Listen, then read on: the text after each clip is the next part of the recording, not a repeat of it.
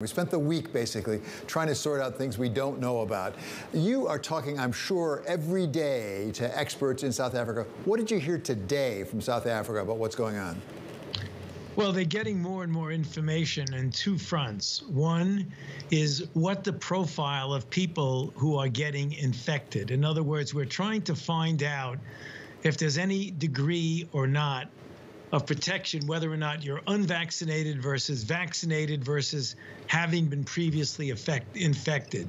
So that's going to be very relevant because the ultimate question that's going to be important for us here in the United States is if you have been vaccinated and boosted, given the mutations that this new variant has, what is the chance of protection against infection and if not infection against severe disease leading to hospitalization. So we're learning about the severity of the infection and the profile of the people who are getting infected. As you well know, we are starting to see cases literally, you know, every few hours to a day or two in the United States. And as we approach the weekend, we're going to probably see more and more because once it is here, uh, there's no way that you're not going to see more and more cases. The real question is in the fact that we have a background of Delta variant, which is very dominant and has essentially pushed all the other variants off the board, where is Omicron going to be in relationship to Delta? Will it take off and become the dominant variant? Or will it essentially get a bit smothered by Delta the way all the other variants? The only way we're going to know that is to wait and see. And that's exactly what we're doing. But we are getting important information from our colleagues in South Africa. We'll have a Zoom call with them tomorrow morning. So we should get another update in the morning. So let me ask one question specifically about South Africa, there's some information coming out of South Africa that the number of cases is going up, which is not a surprise. The number of hospitalizations, I believe, is not going up certainly as dramatically. Should we read anything into that, or is it possible that's just a matter of a delay, a lag, as it were? I think the latter. Uh, in order to get a feel for the relationship between infection, a high degree of symptomatology, hospitalization, and ultimately death, you've got to have a lot of patients get infected and you've got to follow them for at least several weeks. So, although it is encouraging that they're not seeing any concerning signal, like all of a sudden a lot more hospitalizations, that is comforting, but it isn't definitive we really need to wait until a lot more people are recognized and identified who get infected to be able to make any determination about the degree of severity. Dr. Fauci, if we go all the way back to Monday, a whole five days ago now, when we saw you with President Biden, what do we know differently from what we knew then about this Omicron? Well, we know that it's here in the United States, which I actually, you know, not wasn't anything brilliant on my part, but we predicted that when you see it spreading throughout countries in Europe and Asia, obviously you're going to see it here in the United States. The real big question that we don't know now is what I mentioned just a moment ago is how is it going to fare in a world, and the world being our country, in a world in which Delta is the dominant variant. That's going to be a very interesting situation to watch. All the way back on Monday, you said, as you suggest, you know, it's going to come to the United States. You were right. Let me ask you a different question. Community spread.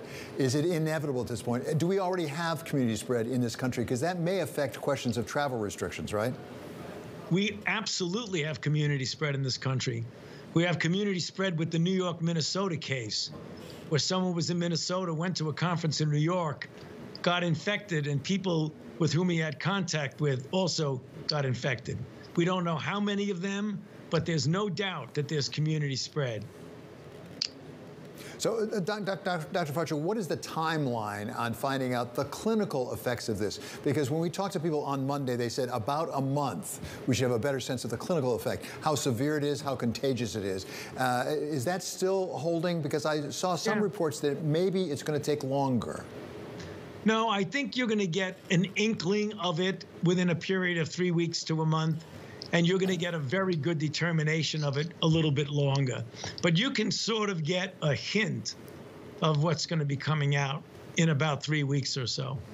Uh, talk about uh, treatments because we have a couple of treatments, one from Merck, one from Pfizer, that once somebody, as I understand, has the disease in the early stage, at least you could take a pill, as it were. When will we have approvals, do you expect, of those therapeutics?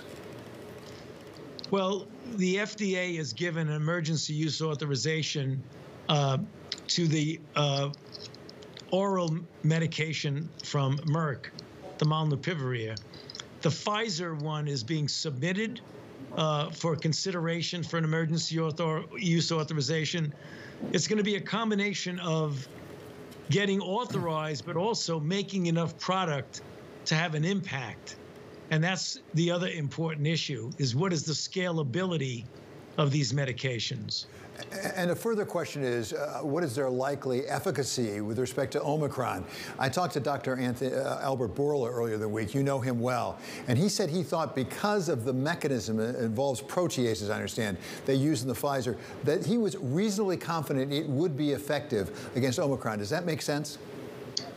Yes, what Albert says does make sense because if you look at where the mutations and the amino acid substitutions are located on the spike protein, uh, particularly around the receptor binding domain and other parts of the spike protein, it does not have an impact, at least from a molecular standpoint, on the protease enzyme of this particular virus.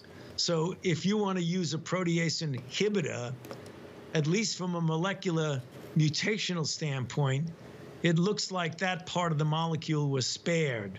So you never know until you test it. But I think what Dr. with uh, Albert Bourla was saying does have some merit. So, Dr. Fauci, let's turn now to what our possible defenses are here. You said getting vaccinated, getting boosted is number one defense, but obviously testing and sort of having intelligence, as it were, about where this disease is is terribly helpful. We heard just today, actually, that President Biden was tested, I guess, three times for COVID because he had what he called a frog in his throat. What are we doing on testing, and are these rapid tests really that accurate? Well, the rapid tests are fundamentally antigen tests. They are not as sensitive as the PCR tests. But if you do them frequently enough, the lack of sensitivity or relative sensitivity is really overcome by the fact that you ultimately will get it, get it being make a diagnosis if you test enough more than just once. And that's the reason why when you talk about doing it, you want to do it, uh, you know, not only maybe a couple of days in a row, but a day, every other day, something like that. But they are very, very useful because even though they aren't um, as distinctly sensitive as the PCR, their ready availability, their ability to quickly get an answer and to do it very often because of the quantity of them that makes up for the relative lack of sensitivity. I'm sure no test is 100% effective. Uh, there's always some margin for error, if I can put it that way, in a test. If you can compare PCR on the one hand with the antigen on the other, what is the difference? What's the degree of difference in the two? And is there a bias toward false positive or false negative? Uh, when you have a less sensitive test, the likelihood of there being a false negative is there, much more so than PCR. PCR is highly sensitive. Sometimes that sensitivity can give you a false positive, but most of the time, the sensitivity and the specificity are very good for the PCR.